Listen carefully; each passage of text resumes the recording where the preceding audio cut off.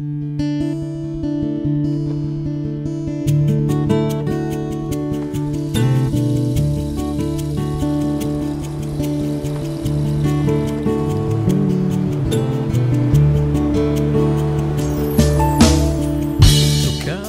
le sport au goût du jour et dès le plus jeune âge, c'est le pari relevé par le vice-rectorat et l'UNSS.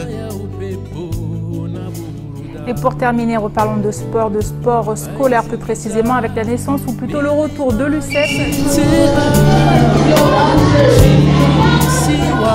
Nous avons eu la chance d'être choisis par la ministre de l'Éducation nationale parce que je crois que sa visite sur le territoire avait été euh, euh, très marquante pour elle et qu'elle avait choisi de, euh, de pouvoir valoriser ce territoire dans lequel il y avait beaucoup d'innovations, beaucoup de choses qui se faisaient.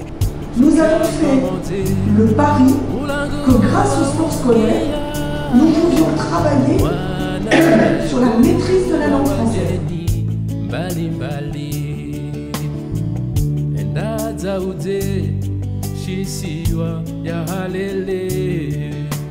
C'est vrai qu'on a débuté cette euh, expérimentation en 2015 avec euh, dans un premier temps la mise en place de, de compétitions d'événements UNSS sur lesquels étaient invités les, euh, les jeunes du cycle 3, donc CM1 et CM2.